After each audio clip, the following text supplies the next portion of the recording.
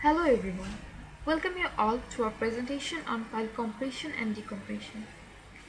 First, what is compression? It is reduction in size of data for saving space and time. We have used Huffman algorithm for compression and decompression, which is based on frequency of occurrence of data. Compression is done in three steps. Probability calculation, forming Huffman tree, and assigning Huffman code to data. Decompression is done in one step using two files, Huffman standard table file and compress file. This is a flow diagram of compression and decompression. Let's have a look at our code. For compression, we have used three functions.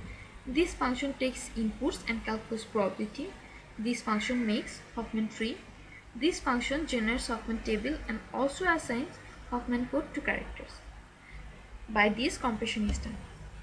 This is for decompression. It uses Huffman standard table and compress file to generate decompressed output. Now run the program to see how it works. Run this function. Write input file name in the command window.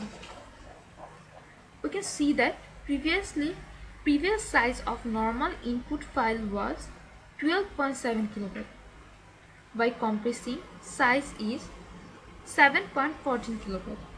That's a dramatic saving of 5.56 kilobyte needed. This total compression can be demonstrated by simple example. Common ASCII representation use 24 bits to store words T and C.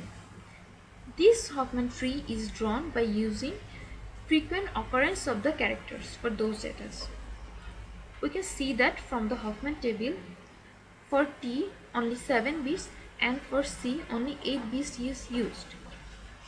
This is done by the idea that more common letters must have shorter code length.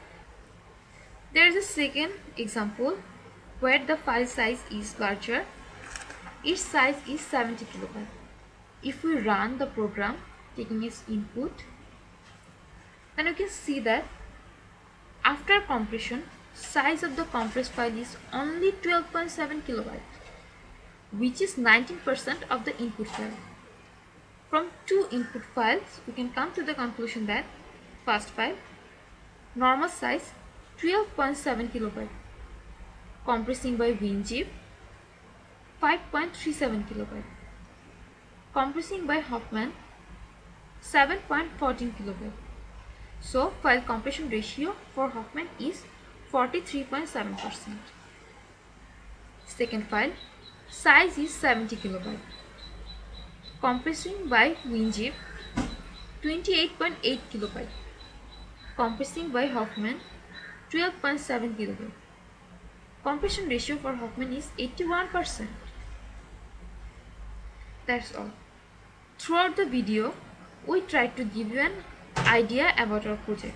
Hope you liked it and thank you all.